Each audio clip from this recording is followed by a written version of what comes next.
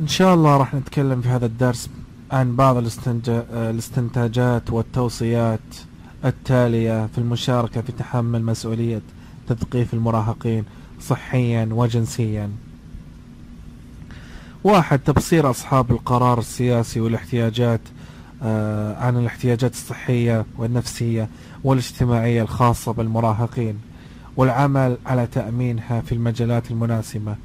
اثنين الحصول على مراجعة مناسبة للتثقيف الصحي للمراهق حسب العمر. أيضا التثقيف والمتابعة من خلال المدارس. أيضا الحصول على المزيد من المعلومات حول مشاكل المراهقة وتيسير آه، آه، بعض الحلول اللازمة التي تعالج مشاكل آه، المراهقين في فترة المراهقة. إلى هنا انتهى الدرس. كان معكم الباحث خالد بن سعود الحليبي وإن شاء الله نشوفكم في درس قادم.